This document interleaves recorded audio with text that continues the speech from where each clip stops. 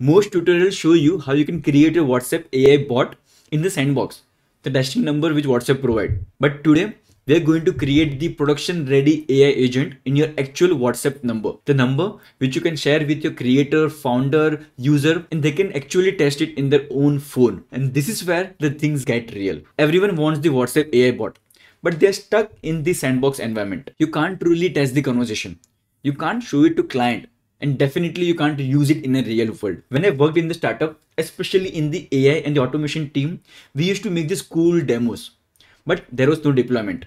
So the creator, the agencies, the small businesses, they want to see something which is live, something which they can message. Something which is live 24 by 7 something which is live in their hand. So this is what we are going to make today. We are going to use official meta api to create the production ready whatsapp ai agent which you can share with your creator your founder your small businesses to whomever you want and all the data lies with yourself no third party application you own everything so let's get started so this video is divided into multiple steps so the first step is to create the meta application so for that we'll be going to developer.facebook.com and log in over here and then you'll be seeing my app option over here. Click on that. After that, you'll be seeing all the application you might have created. If you have not created any application, then click on create app over here and give some suitable name over here and give the proper contact email ID.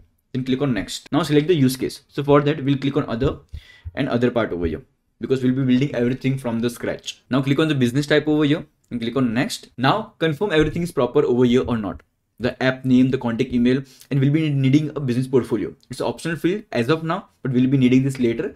So keep it blank right as of now, then click on create app, enter your password, and now you'll be seeing such kind of a dashboard over here. So now we are interested in WhatsApp. So click on WhatsApp and setup. So now they are again asking us for the business portfolio. So to now to create the business portfolio, go to business.facebook.com. On the left hand side, you'll be seeing all the business portfolio over here. If you have, if you don't have, click on create business portfolio. And now just mention the portfolio name, first name, last name, and the business email. That's it. Your business portfolio will be created. So once it is created, come back again to the developer.facebook.com and the app which you created and select that particular business portfolio over here. Click on continue. So now once it is done, we'll click on the app API setup and now for the testing purpose, the WhatsApp will be giving you a testing number over here. So now things get started interesting. Now as you can see, the WhatsApp is giving some a test number over here, but we want our actual number. So for that, if you click over here, you can see I have my actual number over here. I'll show you how you can add your actual number. So click on add phone number, give some name over here. Let's say um, actual number. You can write anything. Okay. I'm just showing you. That's the reason I'm writing actual number.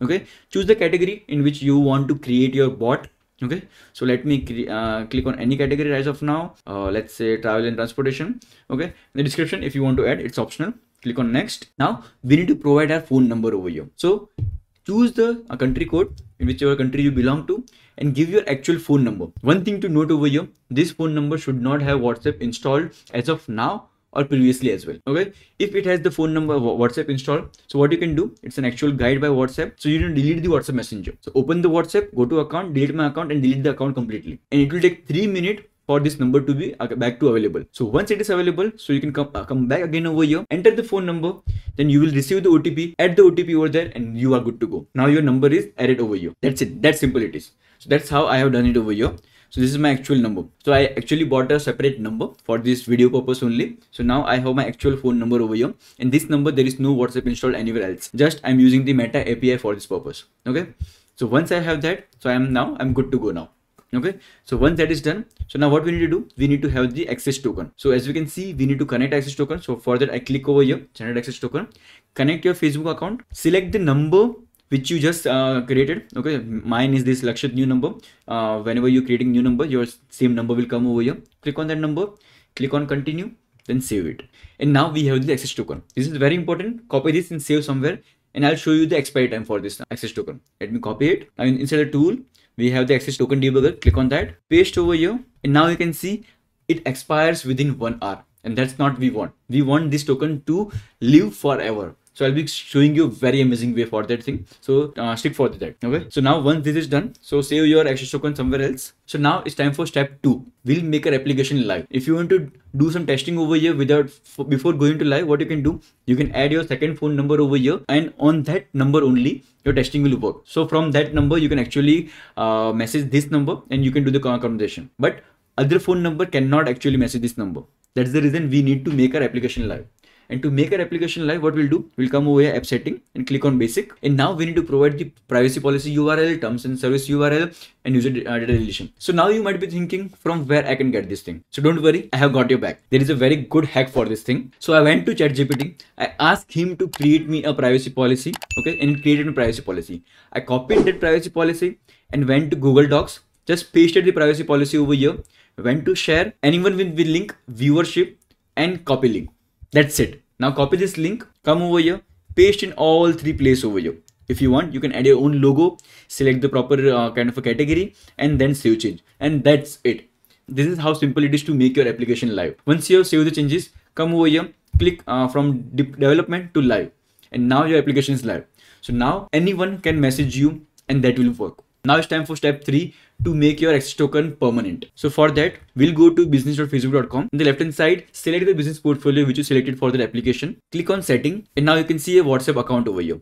So that WhatsApp account should be linked over here. By default, it will be linked because you have selected same business portfolio inside the application. Once it is linked, come over here and, and click on the system user. So for you, there might be no system user. So come over here click on the add and you can add the system user name and give him the admin role. So at a time for any kind of a business portfolio, there can be only one admin system user and I have that. So I it won't be created for me, but I have the system user. So now for this thing to work properly, we have to come over here click on the three dots, assign assets. Inside the app, select the app which you just created and give the manage app and assign assets. Once this is done, again come to three dots, click on the assign assets, come to the WhatsApp account which you just created, give all the access, everything and assign assets. Once this is done, you can come over here, click on the generate token, select the app which you created, set the expiry to never. This is the main important thing set expiry to never. In the assign permission, come over here, search for WhatsApp, give this business messages and business management and click on generate token. And now verify the token. And now if you're asking for a verify account, you can verify it. Otherwise it will give you the access token directly. Now confirm the email address. Now you'll get the confirmation code in your email address. Put that. So once that is done,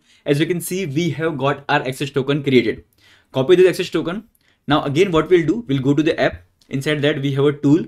Click on the access token debugger, paste it over here now see the magic. If I click on debug, now we have expiry as never. So now you have your permanent access token. So now you have created your own meta app, made your application live, have your own permanent access token. Now it's just a matter of a time to create your own WhatsApp AI agent and you are good to go. You can share this number with anyone and anyone can chat with your WhatsApp number. So now for the final step is to create a WhatsApp AI agent. So for that I'm using n8n. And if you don't know what is n8n, n8n is a low code platform tool which can help you to automate anything. Whatever comes to your mind, it can automate and there is a link in the description. Once you are in the n8n over here, come over here and click on the workflow. Now we can see this blank canvas over here. So now we'll be requiring the trigger over here. So trigger is something which starts the workflow. So now how does this thing work? So now we have a meta over here and we have a n8n over here. So meta is the actual WhatsApp and n8n is where we'll do the AI agent work. So whenever someone messages us, it goes to the meta and meta need to need somewhere to transfer this message over there. So that's where we have this webhook over here. So webhook is nothing but it's in kind of an url it's an address where we'll receive the message. Okay? So we'll be requiring this url and we need to tell meta that you have to send this message over here. So for that we'll copy this um, webhook and we'll go to the whatsapp again in api setup. Sorry in the configuration. In the configuration we can see this callback url paste the url over here and we require some verified token so that Meta can confirm that this to, uh, belongs to us. So let, let's say I write Lakshit, you can add anything over here, okay? And before clicking on verify and save, let's go to the n8n and execute the workflow. So currently it will fail because I'll show you why. Okay, so as you can see it is failed, but inside the n8n we should have received it. So as you can see, we, we have received it. Now we need to tell Meta that I have received your webhook. So for that, first thing what we'll do, we'll use the filter over here. We'll check, does this Meta account belong to me only? And how we'll check? We'll check if the mode should be subscribe only and the verify token should be the one which we have pasted. This is the verify token, right? Which, which we pasted. This both should match. Once this is matching, then we'll reply back to Meta saying that I have got a webhook. And how we'll reply back? By seeing, by, by passing it a challenge code. So for that, we'll come over here. We'll select text. It pass the challenge code which Meta provided us. So once this is done, everything will work smoothly. Just one small thing, come to webhook. By default, it's respond to immediate. It means it, it will directly respond but we want to respond by this node over here. So for that, we'll click over here. Inside this, we have using to webhook node. We'll click on this and now we'll execute the workflow. We'll go to application and now we'll verify and save. now it will pass successfully so now as you can see it passed successfully and now we need to select the product which is our whatsapp business account so now over here we have multiple events over here but we are mainly interested inside the messages which we'll receive so for that if you scroll down have this message over here so toggle this on. It means that whenever meta will receive message from someone it will only send us the message and nothing else. So now once this is done so we'll go to uh, webhook. So to confirm the webhook it uses the get part.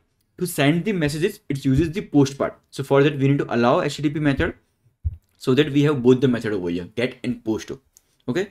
Once this is done now save it. So now it's time to send the actual message. So now for that let's come over here and click on execute workflow don't worry you don't have to do this every time. Currently we are in the test url version.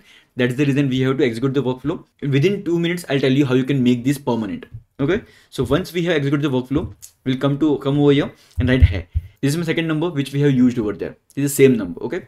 Once we are over here now i'll send this hey message. Now if you come over here we should receive the message. And we got the message. If i click on this thing now you can see we have got the message. If i come over here let me do one thing let me add something um, to show it properly so yeah we can come over here now you can see from where i got the message this will be blur obviously this is my uh, personal number from whom i got my uh, my name is over here and what message i got over here so it's working perfectly fine. Now to reply it back, what we'll do, we'll add the AI agent node over here. So we'll use the AI agent. Now instead of this uh, kind of user message, we want our defined below. We want to send our message.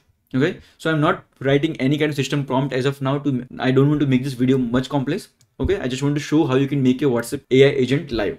That's the reason I'm using this. In the chat model, I'll be using this open router okay if you don't understand any of this thing regarding the ai agent let me know in the comment box i'll make a detailed video regarding this thing already i have multiple video but if you want i can make a dedicated video once it is done now i click again over here and i'll reply back so how to reply back? So we'll be using for that http request node over here. Now we need to fill all this thing. And don't worry we'll be using this http node. I'll tell you what all thing we need to pass over here. Okay? So inside this thing so we need to pass first of all this thing is url first we need this phone number over here. Okay? So what is this phone number id you might ask? So go to your application meta app. Inside this if you go to the api setup inside this you'll be having this phone number id over here. Don't use this phone number. Use here the number which you added and copy this id go to n8n now instead of this thing we'll come over here. We'll paste this id over here. Okay? Once we have that id now second thing we require is the access token which we had just generated which is the permanent access token. So for that choose authentication generic credential type. Choose generic auth type as a header auth. And inside this create new credential. Okay? So new lakshit number. Okay then in the name write authorization and in the value write bearer and kind of your access token over here. And now save it. Once it is saved now we need to pass that body content type is json and specific body is using json and we need to pass this expression over here in which messaging product will be whatsapp to whom we are sending the message that we'll get from the webhook. Okay? So for that let's do one thing. Let's come over here. Let's execute it once again so that we get all the information. Let's come over here and send hey so we should get the information we're getting the information and this will fail obviously because we are not set up properly. And now let's come over here and now we need to paste the number to whom we need to send the message. So for that inside the webhook we'll be seeing this display number over here. So we'll be seeing this whatsapp id over here. Just use this whatsapp id this is the uh, number to whom we need to send the message okay? In the body we need to send the message which we got from our ai agent this is the output. And now we are good to go. If i execute this step it has worked properly. If i go to whatsapp and we have got our message over here. And that simple it is. Now only step which is remaining is to make this live so that we don't have to come over here again and again and execute this workflow. So for that we'll come inside the webhook. We'll use the production url. We'll copy this url. Go to our meta app. Go to configuration. Paste this url over here verify the token paste the same url so that you don't have to change in filter node and verify and save. Before verify and save go to n8n. Make this workflow live active. It means everything will work without executing the workflow. Let's go to the application verify and save. Now it worked perfectly. Now just to confirm we have subscribed properly. Now we can use this and just make sure it is on over here. And that's it. Now you are good to go. Now let's come over here in whatsapp and send hey and we should get reply without clicking on execute workflow and we got the reply Now this will work 24 by 7. Share this number with whoever you want and this will work. Let me know if you like this video and also let me know if all these types work for you. If anything didn't work, let me know in the comment box. I will help you out or you can join my Skool community. I hope you like the video. If you like the video, you will like this video as well where I have shown you how you can create your own WhatsApp catalog.